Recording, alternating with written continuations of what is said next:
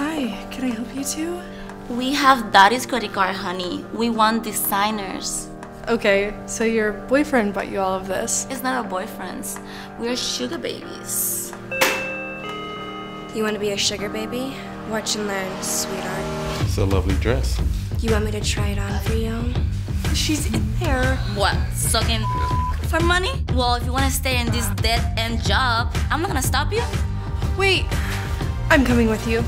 This is your place?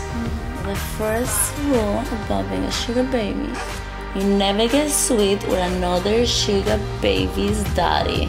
Get up of a daddy. You think you're special, sweetheart? You're not the first one to taste and you sure as hell won't be the last. Stop embarrassing yourself, Elsa. Just get out.